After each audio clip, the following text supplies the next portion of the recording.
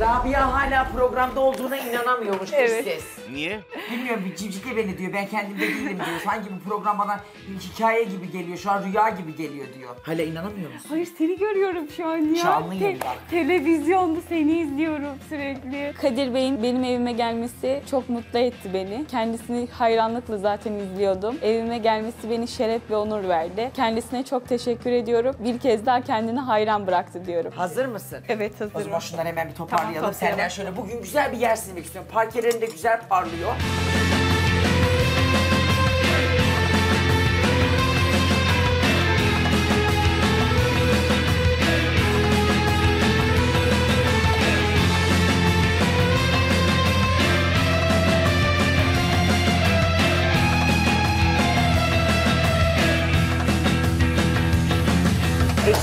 Konusunda titiz mi? Oo benden çok titiz ya. Yani titizlikten kastım eşyaya önem veriyor mu? Of, malına çok kıymetlidir onun. Malı ve ayakkabısı, ay arabası çok kıymetlidir. onun. Araba her erkeğin kıymetli. Benim arabam olsa herhalde nasıl davranırım bilmiyorum. Milleti galoşunla alırım içine. Ama değer vermeden olmuyor. Malcanın yongasıdır yani. Ay bir de şimdi Atlayıp arabasını, zıplayacaksın. arabasını sattı ya. Ey, Depresyona girmiştir o Ay şimdi. ay Allah'ım çıldırıyor evde. Boşanmış gibi bir şey olmuş adam bir E, nebze. arabası bekarken arabada yatıyordu ya. Sa- 4-12 işten bir geliyordu. Geceli falan arada kaçıyor mu arabanı ya? Yok evliyken yapmadı canım. Düşünsene gece kalkıyorsun kocan yiyorduk. Nerede arabanın içinde? Olabilir belki de uyurken gidiyordu. İyi plakayı falan getirip yatağın başucuna koymuyor. Düşünsene. Ama bazen böyle adamları biraz serbest bırakmak lazım. Hayır ya. Ya biraz özgür. Evet. Bence evlilikte iki tarafında arada böyle kendilerine baş başa bir vakit ayırmalılar. Evliyken ne iş var? Çocuğuyla karısıyla ilgilensin. E tamam da her gün her gün her gün her E, gün. her gün her gün Sen ben de- de evdeyim. Ben senin için de söylüyorum. Benim burada hiç arkadaşım yok. Onun selam verdiği herkes arkadaşı. Ben evlensem mesela haftada bir gün falan ya da ayda böyle bir iki kere Bak kendi de- başıma bir dinlenme isterim yani. Kendi arkadaşlarımla takılayım bir huşu içerisinde olayım. Aynen o şekilde düşünüyorum. Ama evlilikte valla biraz insanlara bir alan açılmalı E, tabii yani. canım, Ben bile sıkılıyorum yani bazen diyorum tek başıma kalsam ne olur. Anneme kaçıyorum orası da kalabalık. Kayınvalideme kaçıyorum. Kaça kaça anan gile mi kaçmış? Dışarı Nereye çık. gideyim? Bak Sapanca Gölü var. Bir Ya- iki arkadaşını al bir havalan. bir kez- Arkadaşım yok işte sıkıntı orada. Niye? Adapazarı ben A- Sapanca'ya evlendim. Tamam. Normalde Kaç senedir burada Adapazarı'nda. oturuyorsun? 3 senedir. Yok mu burada bir hacı teyze Kız gibi burada bir şey? 45-50 yaşındakiler var. E ne yapacağım ben olmuş? onlara? Onlar buranın yerlisi seni daha iyi yerlere götürürler. Hayır hayır. Evet arkadaşlar gün geldi ve bazıların hayali oldum görüyorsunuz. İnsanlar sırf benimle yer silmek için ta Sapancılardan İstanbul'a gelip başvuruda bulunuyorlar. Canım seyircilerim ben de hepinizi çok seviyorum. Hepinizin evine gelip kovalarınızda bezi yıkamak, evinizi süpürmek benim de çok hoşuma gidiyor. İyi ki varsınız, iyi ki varsınız, iyi ki varsınız. Hepinizi çok seviyorum. Şöyle güzel bir cıngıldatalım bezi hadi. Madem hayalimiz. Sok bezi içine tekrar. Sok. Oh! Arabaya taş koydum civanım. Arabaya taş koydum. Tarata tarara. Ben bu yola baş koydum civanım. Ben bu yola baş koydum. Oba! Köpüklü köpüklü. Oh! Elemimizi kederimizi sıkıyoruz. Derdimizi tasamızı yutuyoruz. Düşmanları unutuyoruz. Kadir sonra ne yapıyorsun? Ellerini böyle yapıyorsun. Suyun akıtıyorsun dirseklerinden Evet. akmayacak şöyle bilekten. Ondan sonra bezi En katlıyorsun. baştan mı? Şöyle gel baştan gelelim. Dolana, yar dolana, dolana, ay dolana. Parkeler nasıl parlıyor, mübarek sanki ay doğuyor. Bir hayalin daha gerçek oldu Rabia'cığım. Çok teşekkür Hemen ederim. koltuğumuzu yerine itelim. Peki 20 bin TL ile hayalin ne? Kocan araba mı? Hayır araba almayacak. Adam arabayı satmış bari yardım et. Bir kısmının borcunu ödeyeceğiz. Bir kısmıyla da oğlumu hastaneye götüreceğim. Niye hayır olsun? Yo hayırlık bir şey değil de şey e, kiralamıyor. Ya bu da toplumda bana vermiş olduğu bir psikolojiyle Bir bastır şunu bir iteyim bir saniye. onun Çocuğa bakamıyorsun mu diyor. evet diyorlar ki bu çocuk niye zayıf? E, erken de doğdu. Az otur bir bakayım. 7 ay 28 günlük doğdu. Tamam biraz erken doğmuş E, ama şu an... kilosu da düşüktü zaten. 1715 gram dünyaya geldi. E, zaten sıkıntılarım da vardı benim. Ben az önce kapıda gördüm oğlanı. Evet. Yani gayet boyu posu, Ya şey yerinde. benim e, dayımın eşi de erken doğum etti. Onunla onu kıyasladığım zaman benim beni yiyor yani psikolo- On- 15 kilo falan aynı şeyde doğdular. O da 7,5 Peki sen aylık. kendin dayının hanımıyla kıyaslıyor musun?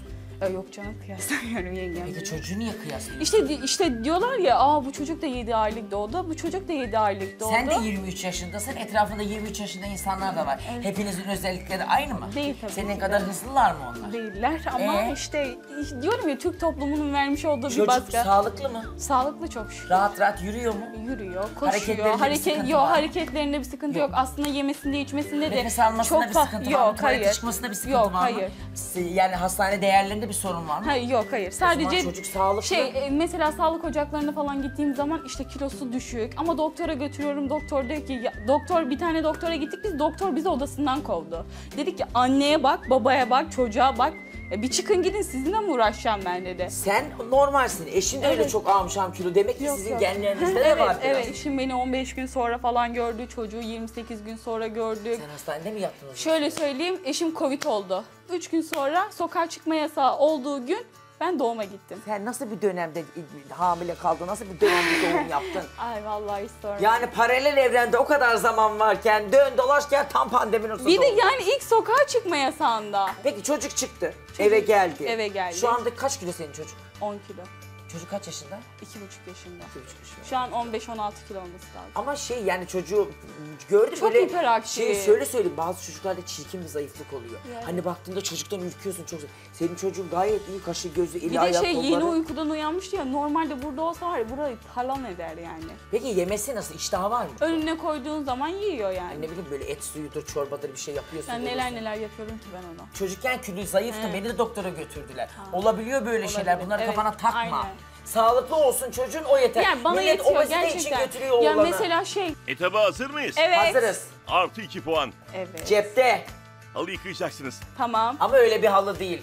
Normal bir halı asla değil. Tamam. Büyük yarışmacımız çok ilginç bir taktik denedi ve hayatının hatasını yaptı. Adeta lekeyi halıya mıhladı. Canım çıktı ben çıkarana kadar. Yanlış yapmış demek. Of kızı Erzurum gelini Rabia. Bakalım halının hakkından gelebilecek mi? Haydi buyur kalk gidiyoruz. Şu pantolonumu değiştiriyorum. gel gel. Üstümüzü değiştireceğiz. Görüşmek dileğiyle.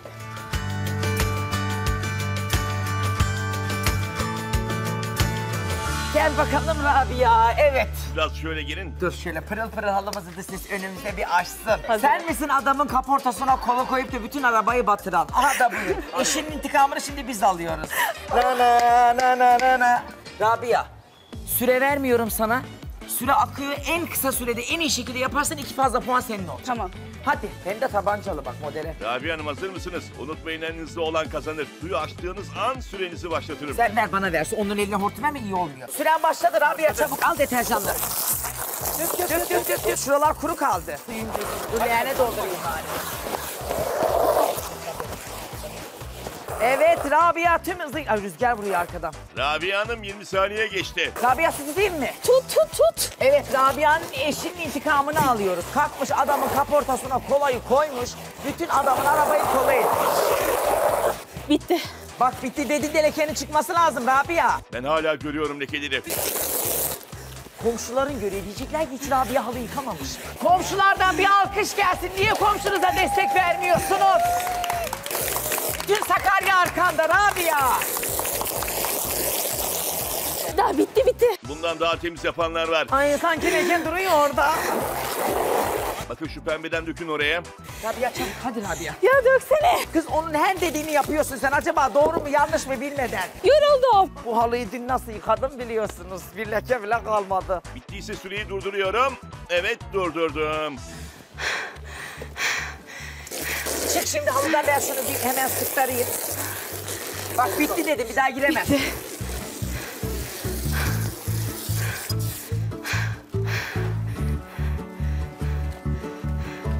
Rabia Hanım bu etap içinize sindi mi? Hayır ya. Daha iyi yapabilirdim de.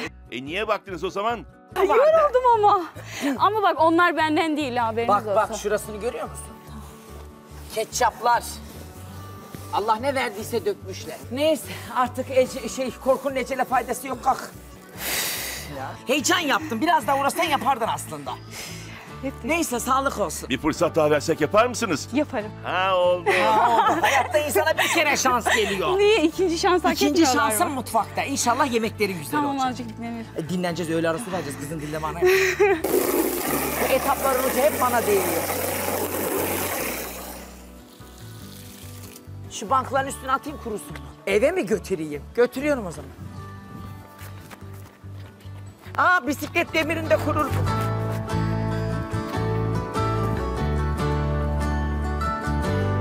Tam yerine koydum. Evet şimdi mutfağa gidiyorum görüşmek dileğiyle. Daha fazla video izlemek için kanalımıza abone olabilir. İlk izleyen olmak isterseniz bildirimleri açabilirsiniz.